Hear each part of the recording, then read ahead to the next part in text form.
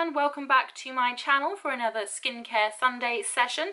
Today I want to talk to you about Ofra's Peptide Activator. Doo -doo -doo this tiny bottle here.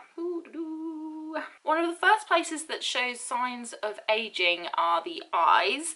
Uh, genetics have a lot to do with that. Um, for instance, my hair has been going silver steadily since I was 14 due to bad genetics on my mother's side.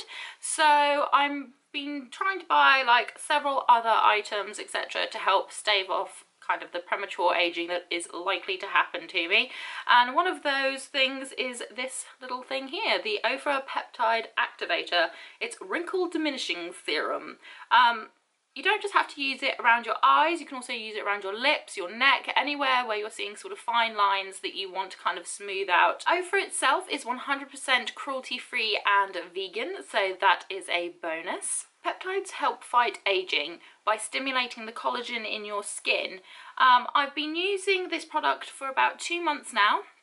A little bit goes a very long way. I only use like the tiniest, uh, like one tiny pump boop, on my finger around each eye, um, around my lips and my neck to try and kind of help with those wrinkles. I have found that it's really helped with the bags under my eyes as well because I tend to have quite puffy kind of shopping bags under my eyes and I found that it's really helped with them as well. So overall, I would give Ofra's Peptide Activator a 10 out of 10. It's cruelty-free, it's vegan, and it works.